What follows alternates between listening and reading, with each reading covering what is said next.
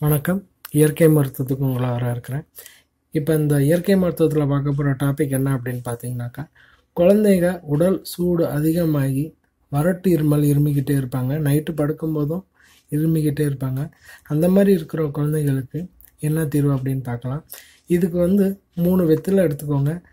அஞ்சு ஓம இலை எடுத்துக்கோங்க. விளக்கு வந்து விளக்கெண்ணெய்னால எரியக்கூடிய விளக்கு இருக்கணும்.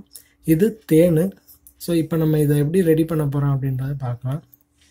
வெத்தலையை வந்து இந்த விளக்கு வந்து நெய்யினால் ஏற்ற ஏற்றி இருக்கணும் அப்படி இல்லைன்னா விளக்கெண்ணெயினால் ஏற்றி இருக்கணும் வேறு தீப எண்ணெய் அதனால் எதுனாலையும் நீங்கள் வந்து விளக்கு ஏற்றக்கூடாதுங்க தீப எண்ணெய் ஈப எண்ணெய் யூஸ் பண்ணிடாதீங்க. இந்த வெத்தலை வந்து சூடு பண்ணிக்கோங்க. வெத்தலை சூடாயிடுச்சு அப்படின்னா அதனுடைய தன்மை மடங்க ஆரம்பிச்சிடும் இப்போ ஒரு டீஸ்பூன் அளவுக்கு தேன் எடுத்துக்கோங்க.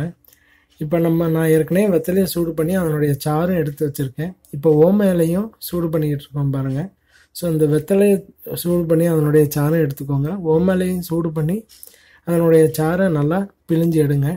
ஸோ இப்போ அவங்க பண்ணுறாங்க பாருங்கள் ஸோ இந்த மாதிரி நீங்கள் நல்லா ஓம இலையை நல்லா சூடு பண்ணிவிட்டு நீங்கள் பிழியும் போது அதில் வந்து சாறு வரும். பாருங்கள் உங்களுக்கே நல்லா தெரியும். சாறு விழுகிறது ட்ராப்ஸ் டாட் டாட் ட்ராப்ஸ் ட்ராப்ஸாக விழுந்துக்கிட்டே இருக்கும் பாருங்கள்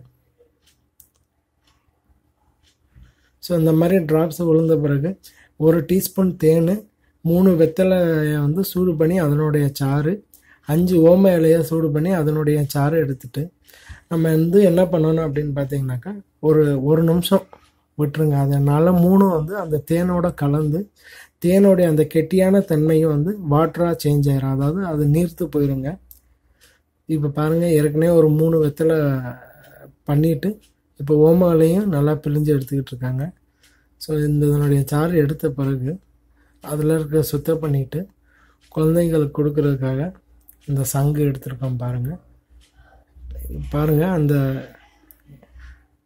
தேனுடைய தன்மையும் இந்த சாரோட சேர்ந்து தண்ணியாக மாறி இருக்கு.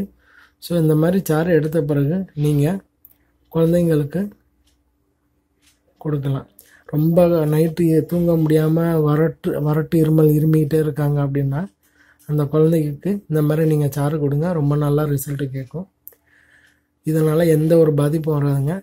அஞ்சு மாதம் குழந்தைலேருந்து ரெண்டு வருஷம் குழந்தைங்களுக்கு வர நம்ம கொடுக்கலாம். பெரிய பசங்களுக்கும் கொடுக்கலாம் எந்த தப்பும் இல்லை. கொஞ்சம் வெத்தலையும் ஓமையிலையும் கொஞ்சம் ரெண்டு ரெண்டு அதிகமாக சேர்த்துக்கோங்க. இப்போ இதை வந்து நீங்கள் தொடர்ந்து மூணு நாள் கொடுங்க. அதிகமாக இருக்குது அப்படின்னா ஒரு நாள் விட்டு ஒரு நாள் அஞ்சு நாள் கொடுங்க. ரொம்ப நல்லா ரிசல்ட் கிடைக்கும். வணக்கம்.